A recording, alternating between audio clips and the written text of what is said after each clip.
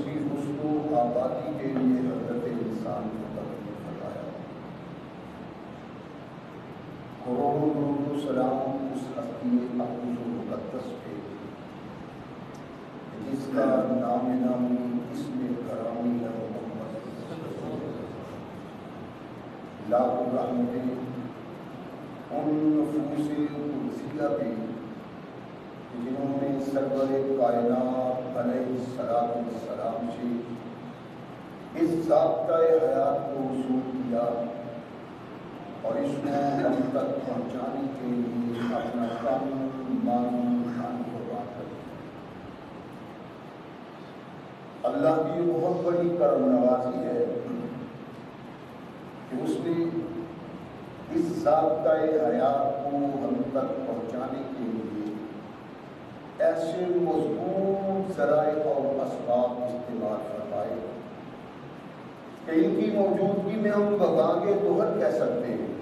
ये जबता हयात, जो आज कुरान की सूरत में हमारे हाथों में मौजूद है। कि वही जबता हयात है, जो आज से कम बेश साढ़े चौदह सौ साल पहले नबी कायनात रसूल सकलैन हज़रत मोहम्मद अलैहि वसल्लम पे इंसानों की रुश्द हदायत के लिए नाजिल हुआ। अल्लाह की इस करम नवाजी पे हम जिस कदर भी उसका शुक्रिया अदा करें कबा अब्बा उसका शुक्रिया अदा नहीं इसलिए ये ज़ाब्ता हयात वो अगर इंसान इससे ताल्लुक पैदा कर ले तो ये कुरान उसकी दुनियावी ज़िंदगी एक अजीम इनकलाब पैदा और अगर इसको अपने जिसम रूप में जारी उतारी कर लिया जाए तो यही वो वह जबता हयात है जो इंसान को दुनिया के साथ साथ उत्तर की कामयाबी की जमानत मिलता है। मगर सदैव ऐसे जबता हयात की मौजूदगी के बावजूद, आज हम तख्त अर्श पे इतनी बदनसीबी की ज़िंदगी बसर कर रहे हैं कि शायद कोई दूसरी कौम तख्त अर्श पे इतनी बदनसीब ना हो। इसका सबब जबकि मुसलमान वो कौम थी जिसने इंसान को उसके असल मुकाम मरतबा से आगाह किया। ये इंसान ज़मीन की नकबतों में बसर कर रहा था ज़िंदगी। कुरान आया, मोहम्मद रसूल तशरीफ़ लाए तो इस इंसान को बतलाया कि तू दरअसल है क्या? अल्लाह की वो मखलूक, जिसको कायनात का खालिक कसमें उठा के कहता है वतीन फजूर वतूर सीना, वहाजल बलद अमीन, लकद खलकल इंसान फ़ी अहसन तकवीम कि हमने इंसान से बढ़ के कोई मखलूक तफरी दी भी नहीं। ये पहचान अल्लाह के कुरान ने करवाई और किरदार मोहम्मद रसूल का ने अदा किया। ये वो कौम थी जिसने इंसान को इंसानियत से आगाह किया। और आज ये बदनसीब कौम है कि तख्त पे इससे बदनसीब कोई दूसरी कौम नज़र नहीं और फिर सितम बालाए सितम ये है कि हम सोचने के लिए भी तैयार नहीं कि हम तो वो थे जो आसमानों की पिलहानियों में प्रवास किया करते थे। आज हमारी हालत क्या है?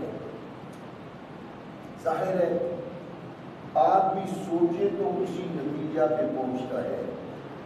कि बदनसीब कौम सोचने के लिए भी तैयार नहीं। क्या हो क्यों? लेकिन सीने में दिल ज़िंदा हो तो फिर वहाँ से रहनुमाई होती है। कि इस तबाही का सबब क्या है? वो जमाने में मुआज थे मुसलमान होकर और तुम खार हुए तारीख कुरान होकर कुरान पढ़ते हैं गौर फ़िक्र नहीं करते। कुरान से ताल्लुक रखते हैं। कुरान से फ़ायदा हासिल नहीं करते। कुरान को अल्लाह की किताब मानते हैं, लेकिन जिसके लिए ये आई, उस तरफ़ तवज्जो नहीं है। हमारी इस बदनसीबी का सबक ये है कि हमने कुरान से ताल्लुक को पैदा किया, लेकिन कुरान जो इनकलाब पैदा करना चाहता है, वो इनकलाब हमारे अंदर नहीं आया कभी सोचा है आपने क्या हुक्म इसलिए कि इस कुरान को कबा हक का जिस तरह पढ़ने का हक था, ना हमारे आबा ने पढ़ा और ना आगे कोशिश की कि औलाद पढ़ सके।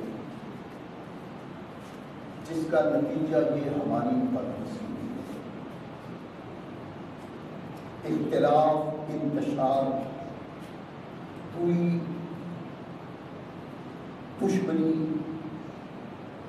एक दूसरे के खिलाफ फाशियाना तस्वरात और ख्याल ये हमारी तबाही का है।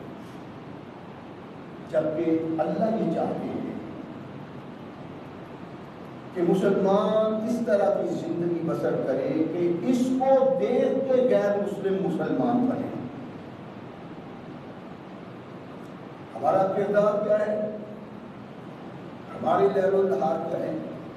कि हमें देख के काफर मज़बूत काफर बनता है। कि ये मुसलमान है जिन्हें देख के शर्माई अपने किरदार को संवारने के लिए। अपने आप को मुस्बत, सोच और फ़िक्र पैदा करने के लिए हमने कभी वक्त नहीं निकाला। इस दुनिया को हासिल करने के लिए, जिसके मतलब नबी रहमत मोहम्मद ने शाह फरमाया दुनिया चीफत गुलाम। दुनिया एक मुर्दार है। इसका ताल्लुक होता है। दुनिया के मुताबिक सकलैन के ताजदार सरताज अम्बिया मोहम्मद वसल्लम ये इरशाद कि किस कौम का सरदार है? तो किसका कायद है? ये कौन है? वो जिसने तमाम कायनात के इंसानों को मुखातिब किया। और मुतालबा किया कि जो मैं लाया हूँ, उससे वाबस्ता हो जाओ तुम उन, उस इंसानियत को पालोगे जो इंसान अल्लाह ने तकलीफ़ दे के उस पर फख्र किया लेकिन हमारे लैलो नहार, हमारी तबाही और बर्बादी का सबब इसलिए कि हमारे दिलों में, कुरान ने वो मोहब्बत पैदा नहीं की। अहकामात रसूलुल्लाह ने हमें छोड़ा नहीं। क्या इस कुरान में कोई कमी पैदा हो गई? क्या मोहम्मद रसूलुल्लाह के इस किरदार में कोई कमी पैदा हो गई? नहीं। बल्कि ताल्लुक रखने के बावजूद ना हमने कुरान की तरफ़ कान लगाए और न मोहम्मद रसूलुल्लाह ये कुरान, ये कायद इंसान को इंसान बनाने के लिए आए थे। इससे ताल्लुक रखने वाले भी इंसान अल्लाह ने इस आयत मुकदसा में इंसान का इंसान से ताल्लुक कैसा होना चाहिए, उसको बयान फरमाया है। और फिर नबी रहमत मोहम्मद वसल्लम ने इसको अपनी हिकमत के तहत लोगों के सामने रखा। कि किस तरह इंसान को अपनी ज़िंदगी में, अपने लैलो नहार में, अपने माशा में, अपने इंसानों से ताल्लुक रखना चाहिए। दर्जाबंदी मोहम्मद ने और इस दर्जाबंदी ने जब लोगों ने नबी रहमत मोहम्मद रसूलुल्लाह की आवाज़ पे लब्बैक कहा तो ऐसा इनकलाब पैदा किया जिस भी काफर ने इनकलाब का ज़िक्र किया है, वो ये कहता है कि इसमें किसी किस्म की कोई गलती नहीं है, कोई झूठ नहीं है कि जो इनकलाब मोहम्मद ने पैदा किया है, कायनात में कोई दूसरा लीडर वो इनकलाब पैदा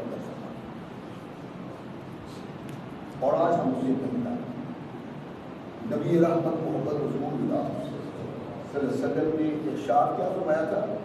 यानी हमें करीब करने के लिए, हमारे दिलों को मुतहर बनाने के लिए, पासे का सोना बनाने के लिए, रहमत कौरैन मोहम्मद रसूलुल्लाह ने इस माशरे को दुनिया में जन्नत नजीर माशरा बनाने के लिए एक पलक किरदार था और ऐसा अंदाज रसूल सलाम का है कि इस कायनात में कोई दूसरा इंसान को खिला नहीं सकता। इंसान का इंसान से ताल्लुक, इंसान की इंसान से गुर्बत। नबी रहमत मोहम्मद इन बेउम्महातिकुम। तुम्हें अल्लाह वसीयत करता है, तुम्हें अल्लाह नसीहत करता है। कि अपनी माँ के साथ वो सलूक करो कि तुम्हारे इस सलूक से तुम्हारा अल्लाह राज़ी होता है मोहब्बत, प्यार, एहतराम, फकार आज सारी अपनी माँ के लिए रहमत कायनात मोहम्मद सुम्मा। यूसीकुम बेउम्महातिकुम फिर तुम्हें तुम्हारा वसीयत करता है कि अपनी माँ के साथ नेक सलूक करो अच्छा सलूक करो, बेहतरीन सलूक करो। उसके साथ तुम्हारे लैलो नहार ऐसे होने चाहिए कि तुम्हारे किरदार से मुआशरे में खुशबू आए। सुमा आपाकुम पहले सिला रहमी माँ से फिर सिला रहमी माँ से सुमा अबाकुम फिर इशाद फरमाया, तुम्हारे आबा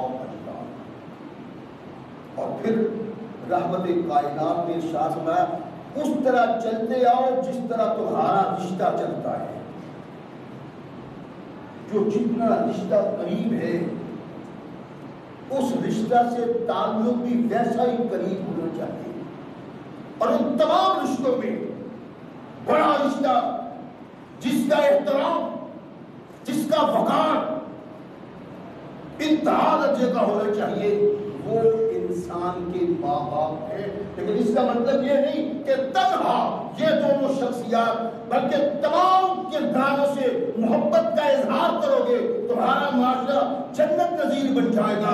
अगर इस किरदार में रंग को नहीं भरोगे जो अल्लाह चाहता है, जो मोहब्बत रसूल ने चाहा, फरमाया, तुम्हारा बेहतरीन माशरा बिगाड़ का सबब बन हमारे अंदर वो सोच ही नहीं है।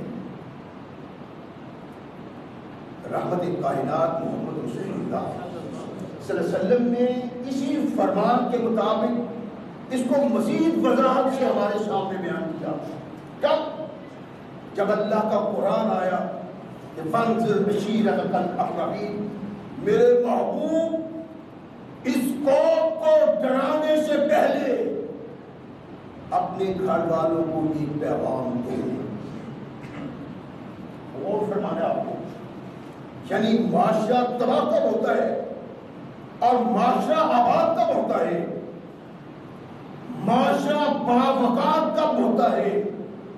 और माशरा जिल्लत और नकबत का मुँह देखा। एक अजीम किस्म का नक्स माशरे में कब पैदा होता है? जब उससे दूरी हो जाए, जो अल्लाह कहते हैं और जो मोहम्मद रसूल कहा, अपने अजीजों कारब से सिला रहमी करो क्या है?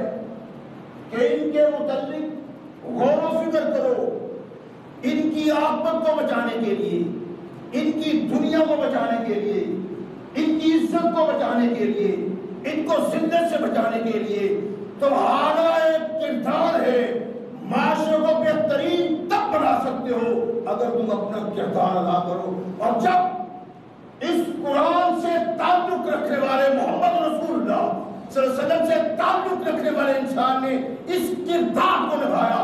अल्लाह ने इसकी असमत को वहाँ पहुँचाया कि इसकी असमत को देखते हुए सांसे तफाक मिल आज जिस कौम का ये हाल है, इसकी आवाज़ और इसका सबब, कुरान की आवाज़ में लबैक कुरान को अपनाना। मोहम्मद रसूलुल्लाह की आवाज़ में लबे अल्लाह के नबी की सुन्नत को अपनाना। जब इंसान अल्लाह रसूल से वाबस्ता हो गया, अल्लाह ने उस इज़्ज़त से नवाजा कि उस इज़्ज़त को बयान किया जा सकता है, उस इज़्ज़त को किरदार से हासिल नहीं किया जा सकता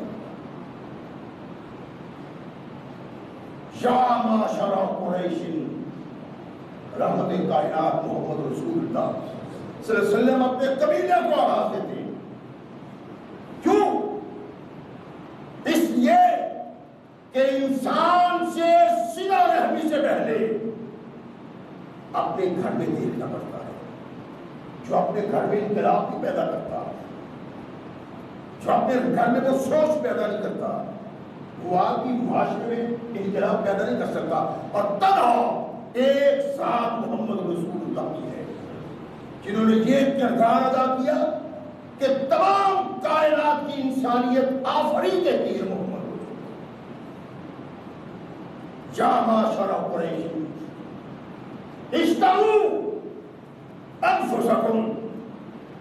ओ मोहम्मद के कबीला के लोगों अपनी जान को अल्लाह के अजाब से बचाओ जहन्नम की आग से बचाओ अल्लाह की गिरफ्त से बचाओ क्यों करो अमल ऐसे करो लहलो नहार ऐसे होने चाहिए सोच ऐसी होनी चाहिए ख्याल ऐसे होने चाहिए, अफकार ऐसे होने चाहिए, जिनका मुतालबा रब करता है और जिसकी तरफ़ रब ने तुम्हारी तवज्जो दिलाई कुरैश के लोगों, अपनी जान को बचाने के लिए, जहन्नम की आग से महफूज रहने के लिए, अल्लाह के अदाब से बचने के लिए तुम्हें किरदार अदा करना है। ला उगनी अनकुम मिनल्लाह शैया अगर ये समझते हो कि कयामत के दिन तुम्हारे काम मोहम्मद आएगा तो ये गलत बात है। कायनात के आका मोहम्मद माशरे की क्यों कर करते हैं? सबसे पहले नबी कायनात मोहम्मद रसूलुल्लाह ने अपने घर वालों को आवाज़ दी, इकट्ठा किया। और कहा कि देखो, मैं तकलीफ़ इंसानियत का वो कायद हूँ कि मेरे बाद इंसानियत की रहनुमाई के लिए कोई नहीं आएगा। क्या तक मेरे दामन से वाबस्ता होना पड़ेगा। जो इस दामन से हाथ छुड़ाएगा, वो कभी अल्लाह की रजामंदी को हासिल नहीं इसको तलाश करने के लिए मोहम्मद रसूल तो क्या? कुरैशी। मेरे आबाओ इजदाद, अमल करो ने अल्लाह के अदाब, अल्लाह के अजाब से बचने तमाम कायनात को, तमाम इंसानों को, रहमत कायनात ने वास किया। लेकिन सबसे पहले हक किसका था? अल्लाह ने कुरान में और मोहम्मद रसूल अपने किरदार में बताया कि अजीजों का था तब अल्लाह ने नबी ने कहा, या बनी अब्दे मुनाफिन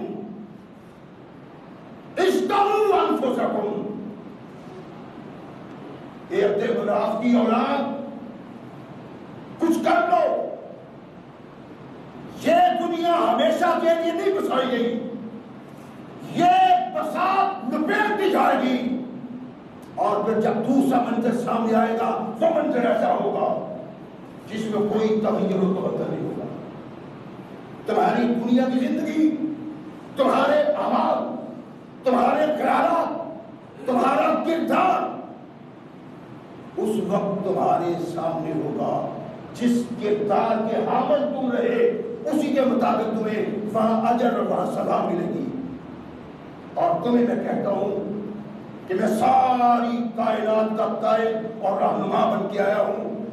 इस सब कुछ के बावजूद कि कायनात में अल्लाह ने मोहम्मद जैसा कोई इंसान पैदा नहीं तनहा एक साथ है। तमाम अंबिया, तमाम रोज़ाना अपने झंडे लेके आएँगे लेकिन मस्जिद में तमाम झंडों को निपेट दिया जाएगा। तनहा जो झंडा लहराएगा, वो मोहम्मद का झंडा होगा। लेकिन इसके बावजूद कयामत के दिन में तुम्हारे काम नहीं आ सकूँगा। तुम्हें अल्लाह के अजाब से नजात के लिए उन अमाल को करना पड़ेगा जो अल्लाह कुरान में कहते हैं और जो मैंने मोहम्मद ने तुम्हारे सामने या अब्बा सुबना अब्दुल मुत्तलिबिन। आपने चचा को आवाज़ ये मेरे चचा, कयामत के दिन मोहम्मद से ताल्लुक और रिश्ता तुम्हारे काम नहीं आएगा। तुम्हारे काम तुम्हारे आबाद आएँगे। तुम्हारे ख्याल तुम्हारे नजरियात तुम कैसी ज़िंदगी बसर करते रहे? तुम्हारा किरदार कैसा रहा। तुम कैसे नहार पसंद करते रहे? पूछा जाएगा और इसकी बिना पर फैसला होगा। लाओगनी अनका मेरा चचा, मोहम्मद का चचा होना कयामत में किसी काम नहीं आएगा। बामन या सुफियतु अम्मत रसूलुल्लाह। ए मेरी फूफी ए मोहम्मद की फूफी कयामत के दिन तेरे अमाल तेरे काम आएँगे। लाउगनी अंके मिनल्लाह शैया तेरे काम में नहीं आ सकूँ गौर से सुने। रहमत कायनात मोहम्मद रसूल का पैगाम अल्लाह के इस फरमान की बुनियाद पे कि इंसान को दुनिया में किरदार क्या अदा करना है और सबसे पहले जहाँ किरदार अदा करना है, वो क्या है? फरमाया क्यामत को ये नहीं होगा कि ये मोहम्मद की खूबी है सच। बल्कि आवाम है और फिर सबसे महबूब, सबसे प्यारी शख्सियत, जो मोहम्मद रसूल की आँखों की ठंडक है, उसको आवाज़ दी या फातिमा तो बिन्त मोहम्मद शरीरी वाशेत बिन माली लाउलियन के में दुनिया में मारो सब चाहिए, दौलत चाहिए मेरी बेटी। जिस चीज़ की खाश है, मुझसे मुतालबा करो, मैं तुम्हें मुहैया करूँगा। किसको कहा? अपनी उस महबूबा को क्या फातिमा तो बेगम मिन्नी अजानी मन अजाहा।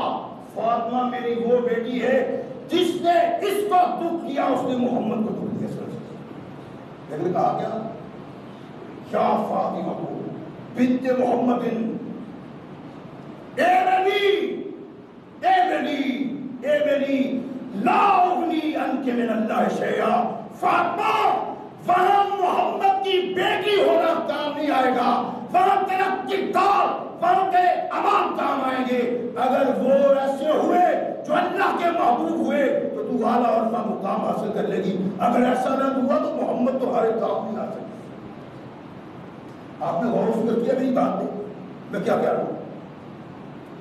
हमारे यहाँ हमारी सोच क्या है? हमारी फ़िक्र क्या है? हमारे ख्याल क्या है?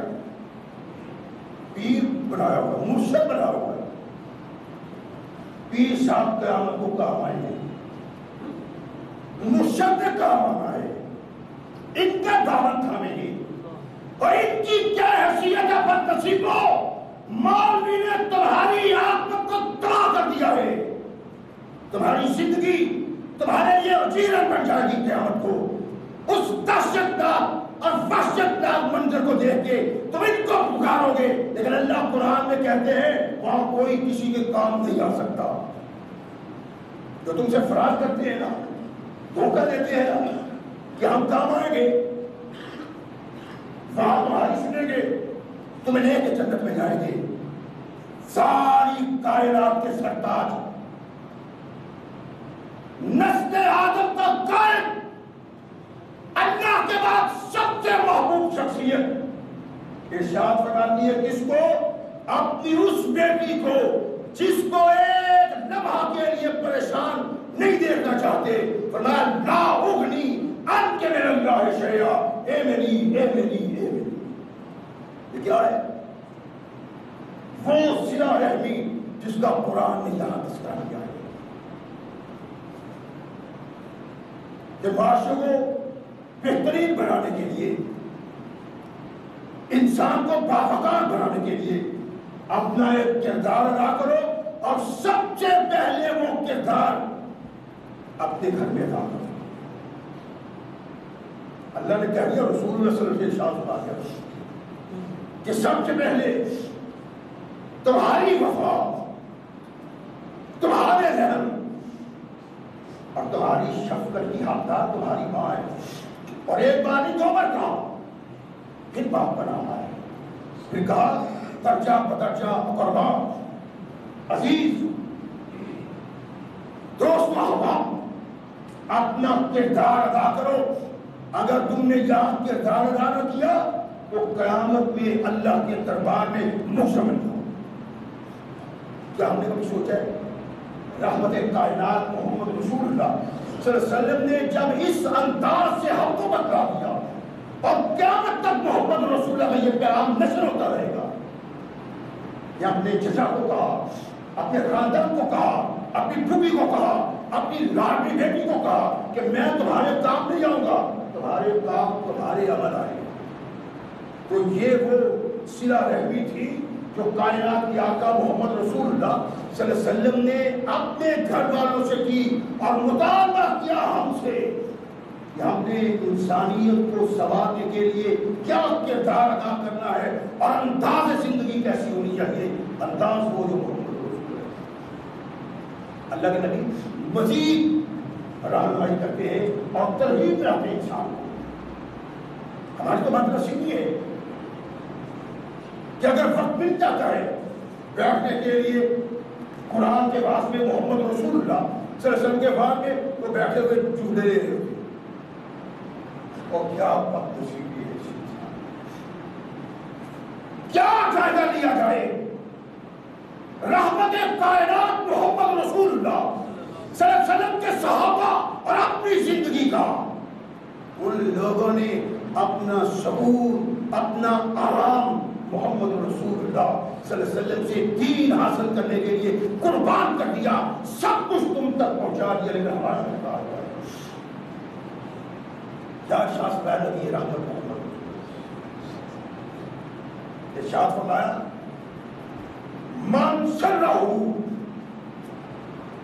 आई युद्ध जाता लहू फिर इसके ही। अगर तुम में कोई पसंद करता है, तुम में कुछ चाहता है, तुम में से किसी के पेशे निगाह ये है, कि उसके रिजक में ज्यादती हो रिजक बच जाए, इशाद फरमाया अगर रिजक को बढ़ने की खास है, पसंद करते हो, चाहते हो, और इसके साथ साथ अगर तुम्हारी ख्वाहिश है कि तुम्हारी उम्र भी बढ़ती जाए, तुम्हारी ज़िंदगी की बढ़ती जाए, फरमाया, फल या सिल रहे सिला रहमी करो। अपने अजीजो कारिन में मोहब्बत पैदा करो। गुर्बत पैदा करो, ज़ोर पैदा करो। इसमें दूरी पैदा ना करो। तुम्हारा किरदार, तुम्हारी सोच, तुम्हारे अफकार ये भी होने चाहिए कि तुम्हारे किरदार से तुम्हारे करीबी भी हो जाए। बल्कि जो दूर चले गए हैं ना, ऐसा किरदार पैदा करो, ऐसी गुफ्तार करो। कि उनको अपने करीब कर लो। कहा, दुनिया में तुम्हारी पहचान ये है कि तुम एक दूसरे से इतनी मोहब्बत और प्यार पैदा करो कि दो दिल मिलने वाले ऐसे नज़र आए कि इनकी दो सोचे नहीं, इनके दो अफकार नहीं, इनके दो ख्याल नहीं, इनकी एक सोच है और वो सोच वो है जो अल्लाह ने कुरान में और मोहम्मद रसूल चाहते हो? अगर तुम में झुक चाहता है, क्या उसकी दौलत बढ़ जाए मान बढ़ जाए, रिस्क आ जाए, उसकी उम्र बढ़ जाए तो इर्शाद फरमाया फल कुशल रहमहू तो सीधा रहमी करो। एक दूसरे को मिलाओ, एक दूसरे में कुर्बत पैदा करो। यूँ अगर कुर्बत पैदा करोगे, यूँ मोहब्बत पैदा करने की कोशिश करोगे तो अल्लाह मोहब्बत पैदा कर देंगे और तुम्हारा माशरा जन्नत नजीब माशरा अल्लाह के नबी अलैहिस्सलाम पे ईमान लाने वाला नबी कायनात का सहाबी, जब सिया रहने की बात आका कायनात मोहम्मद रसूलुल्लाह से होता है तो बड़ा कहने का के नबी, आपकी सिला रहने के मुतलिक को इशार हुआ है। ये लोग कितना पहले मुझसे ईमान ले आए। और ये रिश्ते का बड़ा करीबी है सईदा खदीजा तारा अल्लाह ताला आधा का भतीजा है हकीम बिन हिसाब अल्लाह के नबी का भी भतीजा बन गया बीवी का भतीजा है और इसका किरदार तारीख कहती है एक बड़ा बुलंद किरदार था जमाना कुफर में भी ये लोगों के लिए अल्लाह की रहमत नज़र आता था। खुले हाथ। कहने लगा अल्लाह के नबी मैंने इन लोगों से कई बार ईमान कबूल किया है। मकसूद ये था तो जमाना कुफर में मैंने सीधा रेमी की है। अल्लाह के नबी पास करके सिला रहमी सिला रहमी करे। रिश्ते को तोड़ो ना। रिश्तों को जोड़ो इतना वास किया नया आने वाला साहबी कहते हैं सीधा रहमी, इतनी ज़रूरी है। फरमाया हाँ। कहने लगा, मोहम्मद तो मैंने समाना कुफर में जो सिला रहमी की है अज़ीज़ को नवाजा। हज़ारों किए, गुलाम आज़ाद किए। मेरे आका, क्या इसका मुझे सिला मिलेगा? देखना यह है कि ये जो सिला रहती है, ये है क्या? इसकी हैसियत क्या है? इसकी शराब क्या है? अल्लाह के नज़दीक इसका मरतबा क्या है? इसका दर्जा क्या है? सिला रहमी का, रिश्ते को जोड़ने का, अल्लाह के नज़दीक क्या मरतबा होता है मैंने सवाल कुफर में इंतहा दर्जे की सीधा रहमी की है। अल्लाह के नबी मेरे आका, उसकी हुई सिला रहमी नेकी, अच्छाई, भलाई का कुछ मिलेगा भी। और फरमाए नबी रहमत मोहम्मद रसूल फरमाया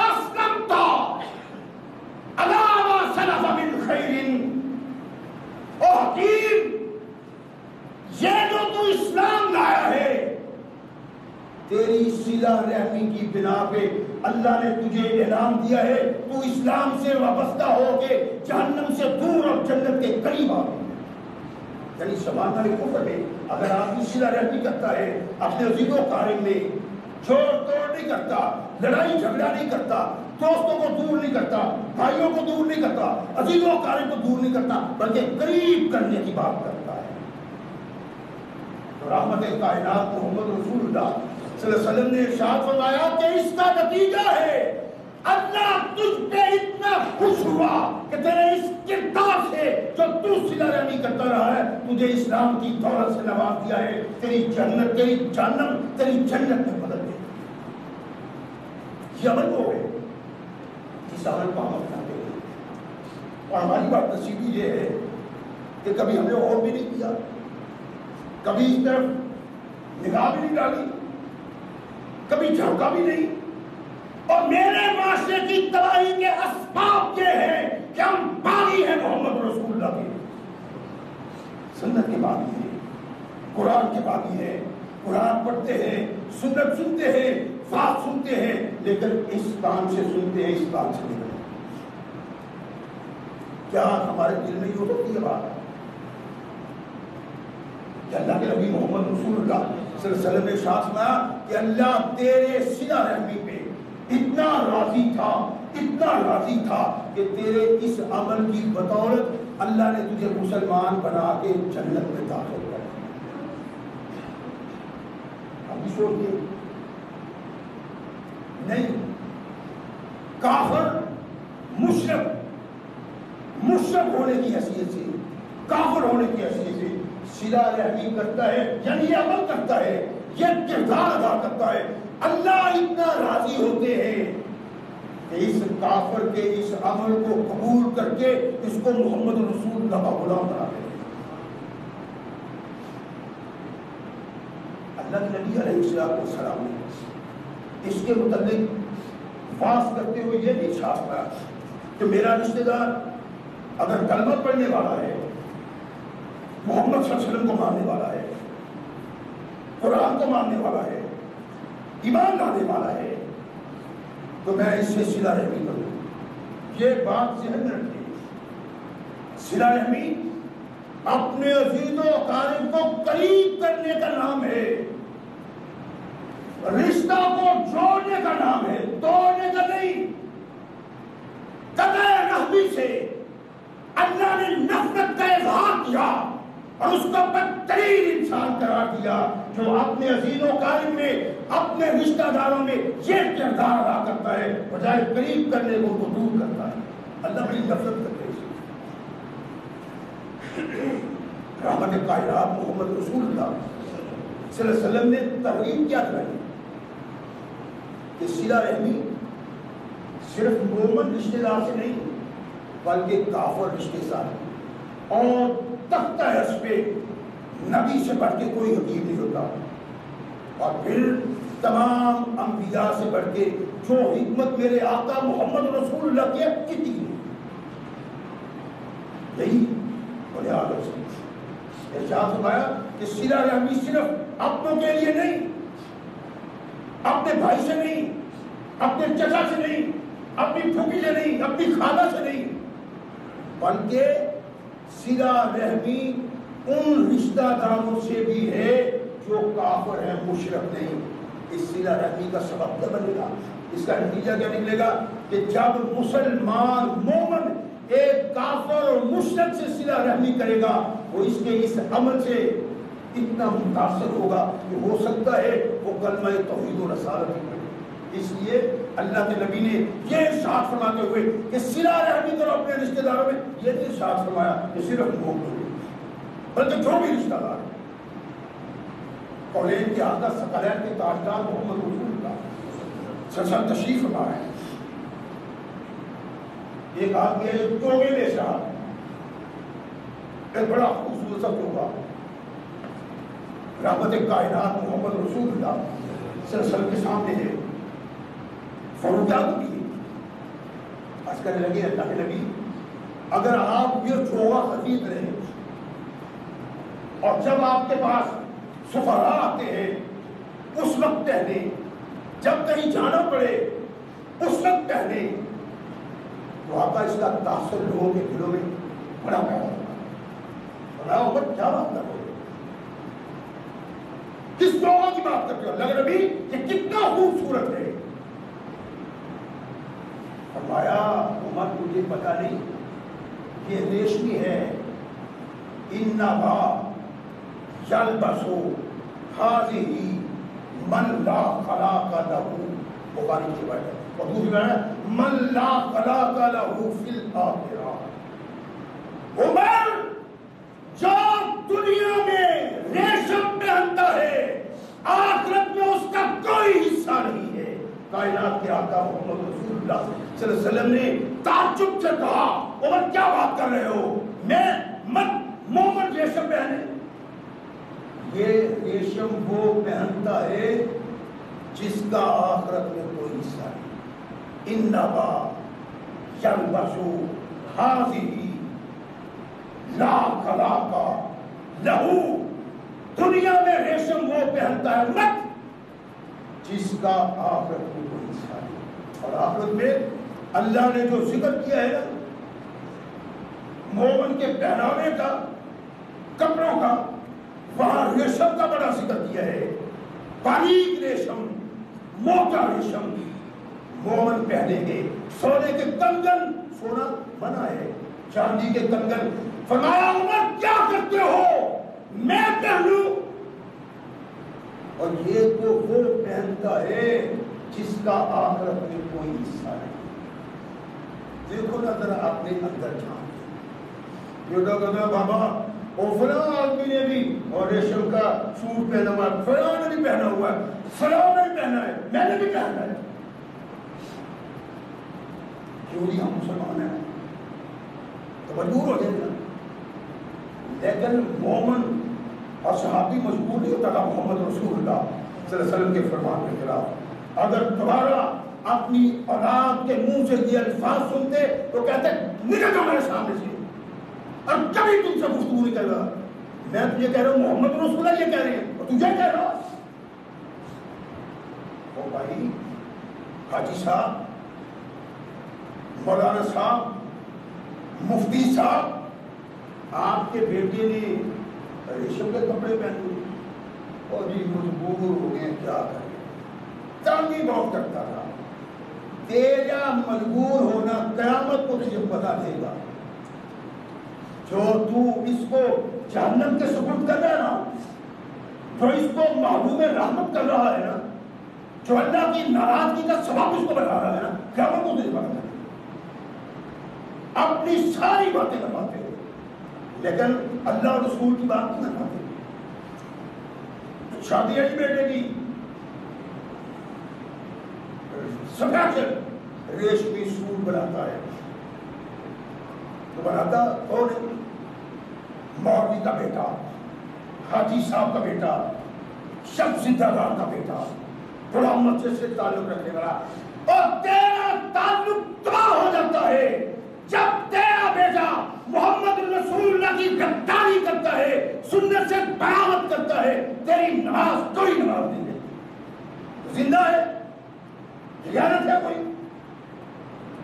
कौन के आका मोहम्मद वसल्लम ने इरशाद फरमाया, उमर, कैसी बात करते हो? मैं रेशम पहनूं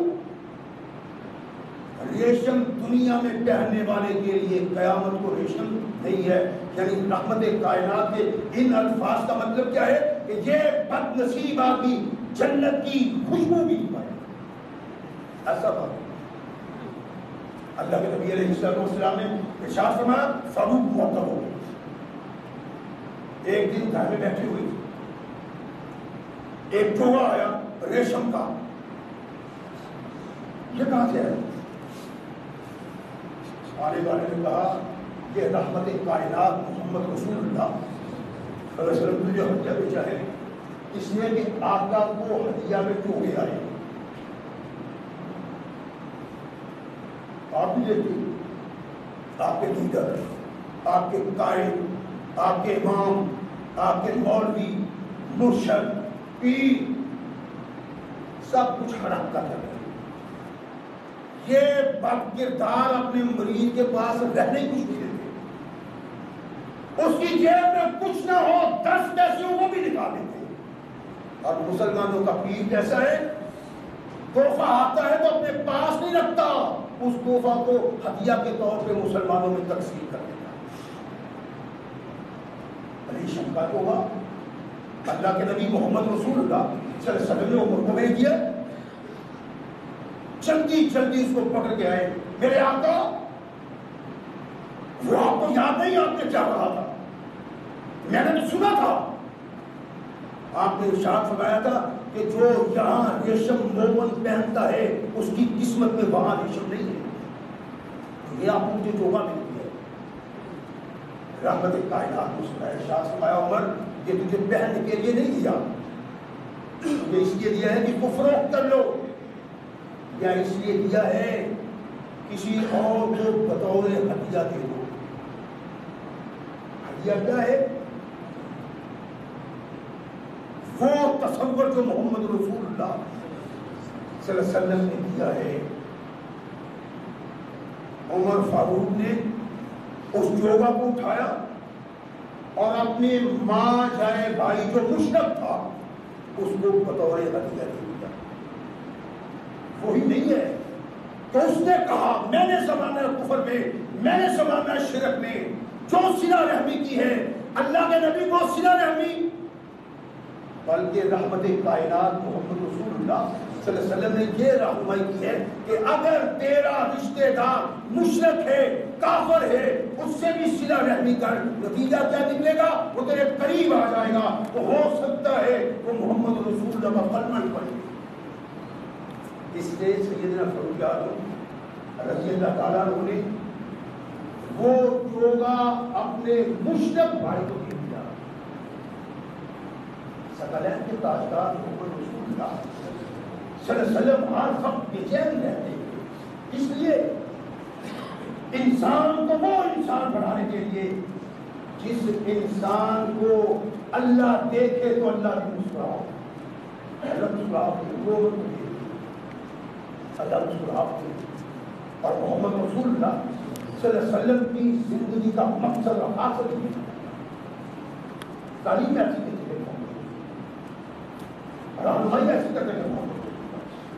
कि इंसान जो वाबस्ता हो जाता था तो ये वाबस्तगी उसको जन्नत का फारस नबी मोहम्मद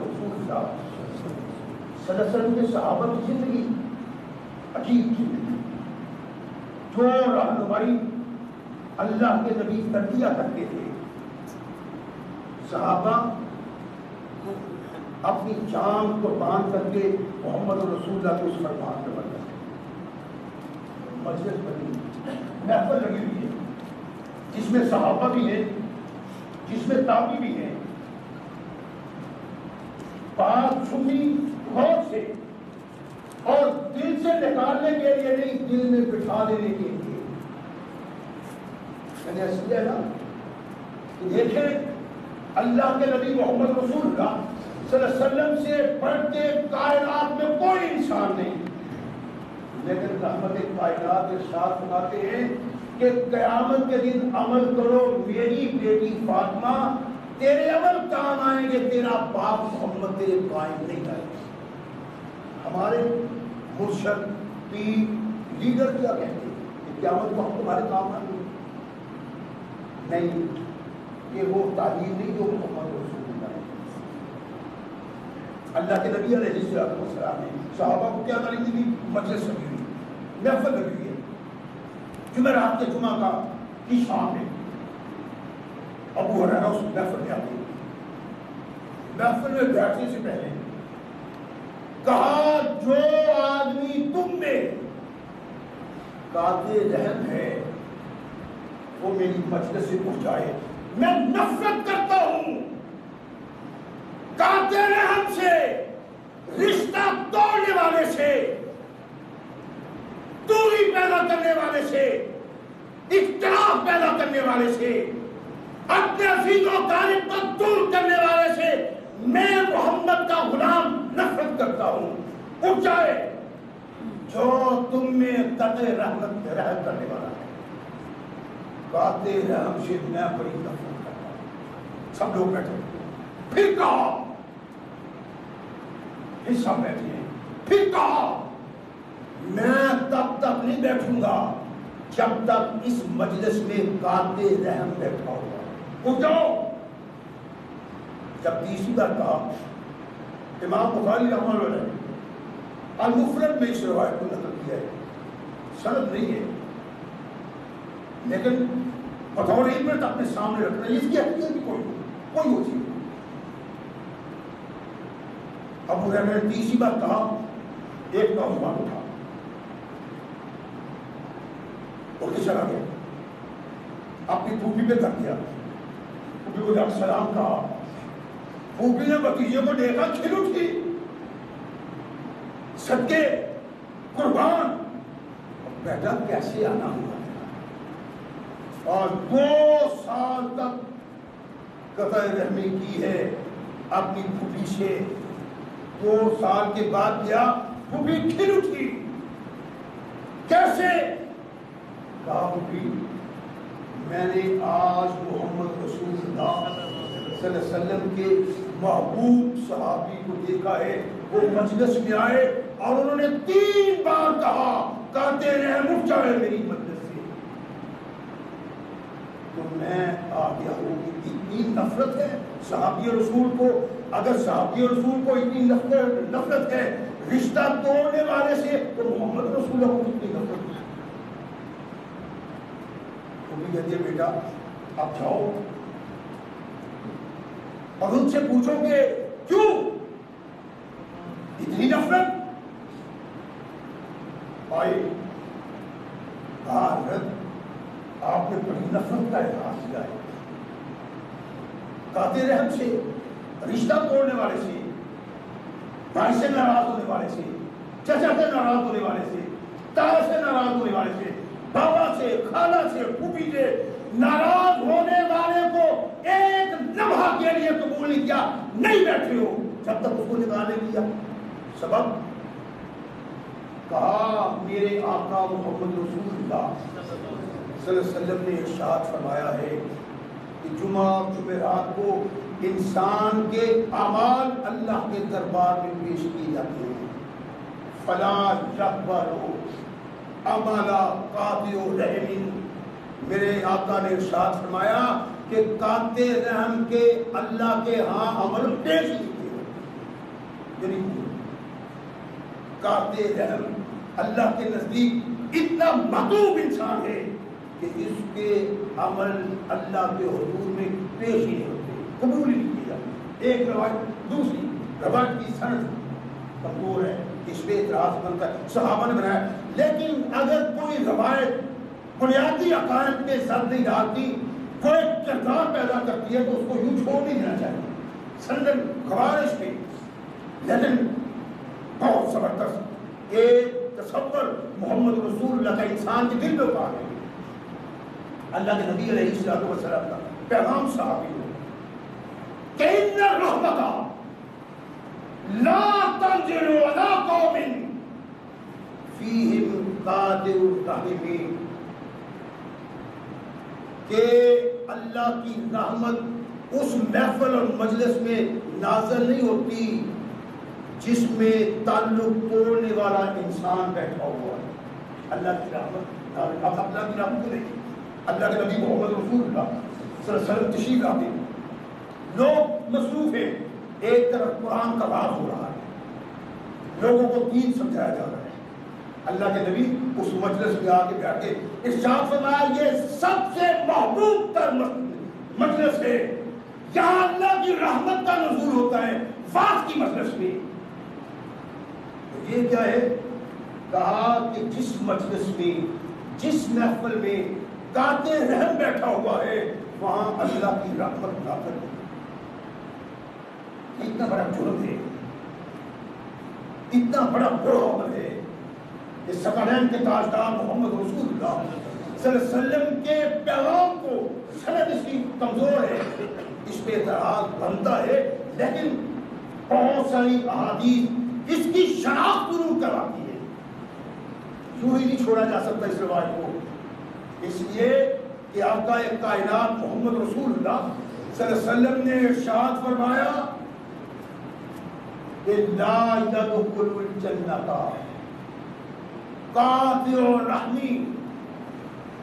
जन्नत में कत रहमी करने वाला दाखिल नहीं हो सकता।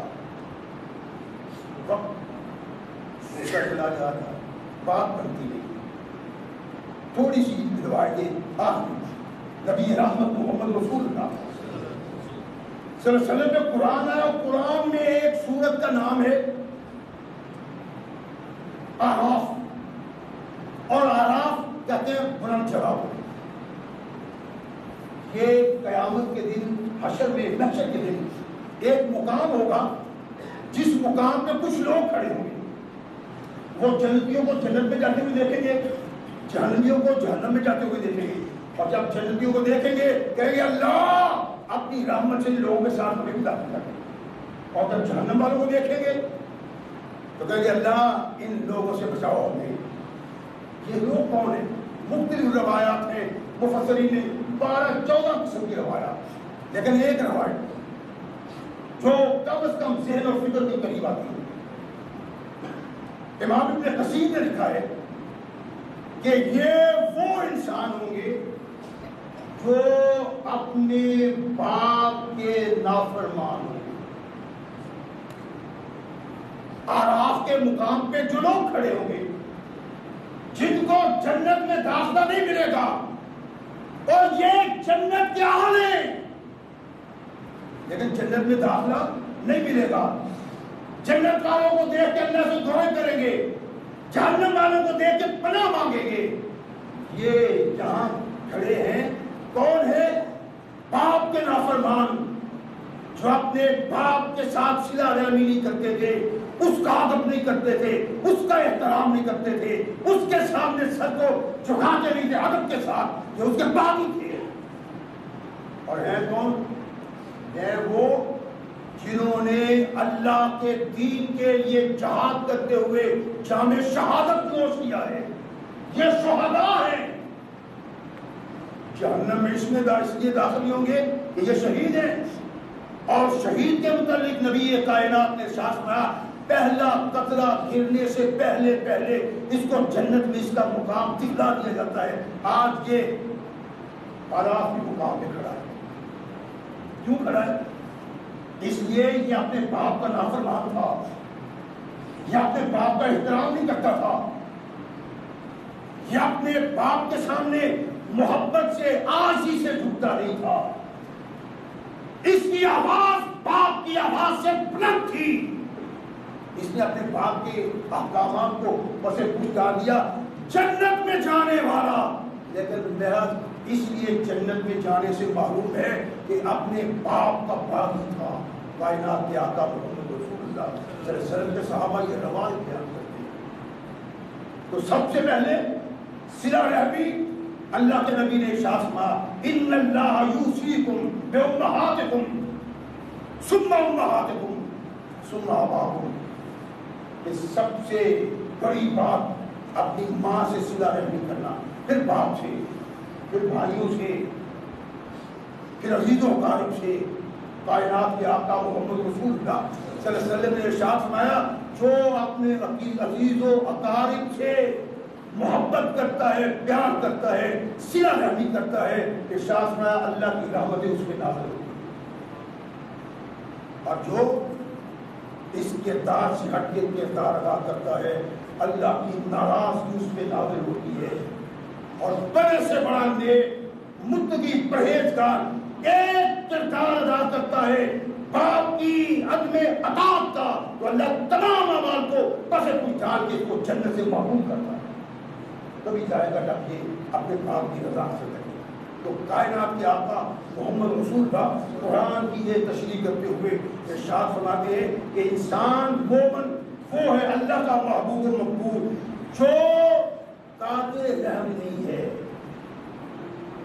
बल्कि रिश्ते को जोड़ता है, भाई नाराज़ है, पास जाता है, चचा नाराज़ है, पास जाता है, बड़ा नाराज़ है, पास जाता है, खुद जाता है, दरखास्त करता है मोहब्बत का इजहार करता है। यहाँ तक कि टूटे रिश्ते को मिला देता है। अल्लाह ने शाह फरमाया, जो मेरे टूटे हुए इंसानों के रिश्ते को मिलाएगा, मैं उस इंसान को मिला दूँगा। जन्नत से। तो भाई, ये बात पेशे निगाह रहनी चाहिए। इस पर नसीबी का शिकार नहीं करना चाहिए, बल्कि कोशिश करनी चाहिए। अज़ीज़ कारब में कुरब पैदा करना, मोहब्बत पैदा करना, प्यार पैदा करना, ताल्लुक पैदा करना, कि इस ताल्लुक के पैदा करने से अल्लाह जन्नत को आसान कर देता है। अल्लाह हमें सही मुसलमान बनने की तोफ़ी कदा फरमाए। वाह